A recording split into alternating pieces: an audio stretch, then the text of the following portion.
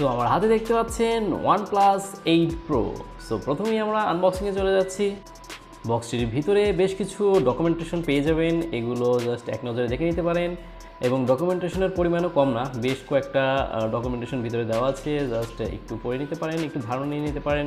So এগুলোকে পাশে রেখে আমরা দেখব বক্সের ভিতরে কি রয়েছে। আমরা কিন্তু একটি কেস পেয়ে গিয়েছি। ফোনের সাথে লাগানোর কারণে দেখা যাচ্ছে যে অরিজিনাল যে ফোনের কালার সেটি কিন্তু বোঝা যাচ্ছিল। ট্রান্সপারেন্ট কেস কেসটিকে পাশে রেখে আমরা দেখতে পাচ্ছি এখানে ইউএসবি টাইপ সি দেওয়া আছে এবং চার্জার হিসেবে দেওয়া আছে থার্টি ওয়ার্ড চার্জার সো যেহেতু এটি একটি ফ্ল্যাগশিপ লেভেলের ফোন সেহেতু আমাদের আরেকটু বেশি এক্সপেকটেশন ছিল, এক্ষেত্রে কিন্তু আমাদেরকে ওয়ান প্লাস একটু হলেও হতাশ করেছে। ফোনটির ফার্স্ট ইমপ্রেশন ফার্স্ট লুকিং সত্যি অসাধারণ ছিল। ফোনটির লুকিংই বলে দিচ্ছে, ফোনটি একটি ফ্ল্যাগশিপ লেভেলের ফোন ফোনটি কিন্তু wireless charging support wireless charger দিয়ে চার্জ হতে কত সময় লাগে, এবং ইন দ্য বক্স যে চার্জারটা দেওয়া আছে সেটি হতে, সেটি দিয়ে চার্জ হতে কত সময় লাগে, সেটিও দেখাবো। সো তার আগে একটু দেখে নেই। সো সুন্দরভাবে কিন্তু পিছনে ক্যামেরাটি বসানো আছে, এবং রয়েছে কিন্তু ডুয়েল এলইডি ফ্ল্যাশ এবং মাঝখানের যে জায়গাটি দেখতে পাচ্ছেন, এখানে কিন্তু রয়েছে ওয়্যারলেস চার্জিং কেবল সো আমরা এটি দিয়ে চার্জ করে একটু পরে দেখব। অ্যান্ড আরেকটু কথা বলে নেই। সো কোথায় কি আছে যদি একটু দেখে নেই তাহলে দেখব যেখানে পাওয়ার বাটন এবং হচ্ছে রিংটোন ভাইব্রেশন মোড রয়েছে। তারপরে মাইক্রোফোন তারপরে আমার বাম পাশে দেখতে পাচ্ছি volume up and down button রয়েছে। Speaker charging port SIM so এর সাথে কিন্তু ফ্রি পেয়ে যাচ্ছি ব্যাক কাভার ইয়াস দর্শক।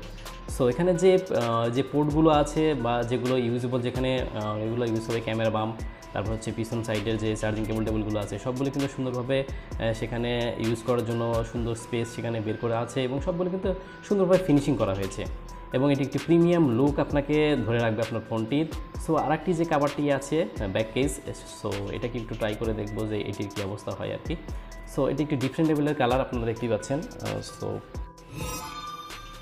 কাপড়গুলো কিন্তু লাগানো অনেকটা ইজি ছিল। খুব একটা জোরে স্প্রেস করতে হয়নি বা খুব হার্ড প্রেস করতে হয়নি অল্প অ্যাডজাস্ট হয়ে যাচ্ছিল প্লাস এদের যে ইউজিং এক্সপিরিয়েন্স এখানে কিন্তু দেখা যাচ্ছে ওয়ান প্লাসের যে লোগোটা সেটা কিন্তু খুব একটা ভিজিবল হচ্ছে না। কিন্তু ব্ল্যাক যেটি ছিল, সেটাতে কিন্তু ওয়ান প্লাসের লোগোটা অনেক বেশি ভিজিবল ছিল।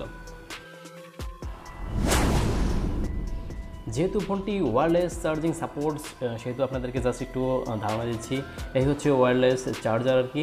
সো আপনারা কিন্তু দেখতে পাচ্ছেন, এখানে কিন্তু অনায়াসে ফোনটি বসে যাবে এবং সেটিতে চার্জ হতে থাকবে। অ্যান্ড এটি কিন্তু ফোনের সাথে ফ্রি পাচ্ছেন না। এটি কিন্তু আপনাকে কস্ট বা আপনাকে টাকা পেমেন্ট করে তারপরে এটা নিতে হবে। এটি কিন্তু ফোনের সাথে ফ্রি আসছে না আবার বলে দিচ্ছি।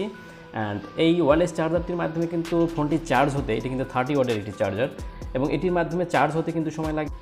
ফিফটি পার্সেন্টের হতে সময় লাগে তিরিশ মিনিট।